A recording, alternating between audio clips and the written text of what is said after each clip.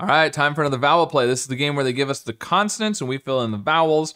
Today's theme is words with NN in them, which is interesting. So we know that, uh, so an announcement, as I think what that one is. Uh, I was gonna say, we know that it's either the first two N's or the second and third N there that go together, but announcement. Uh, well, we know the two N's go together, which is interesting. Um, minions, no. Uh, Um, I I don't I don't. Oh, mayonnaise, mayonnaise, mayonnaise is what that one's gonna be. Okay, I was about to say I don't know what this is, but then it came to me.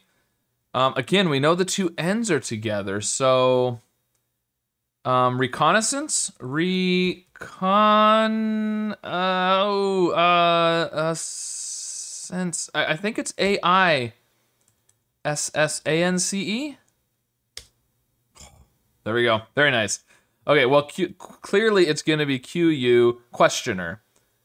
Questioner. Oh, no. Uh question. Oh, questionnaire. I was going to say I think questioner only has one one N.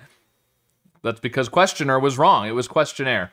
All right. Well, as usual, made a mistake that I probably shouldn't have. That seems to happen a lot on this game, but uh, otherwise not too much trouble. So let me know if you have another favorite word with two N's in it, I guess, um, or, or if you have a name that has a double N. Yeah, let me know that too. And of course, how you did solving this puzzle, and be sure to subscribe for more.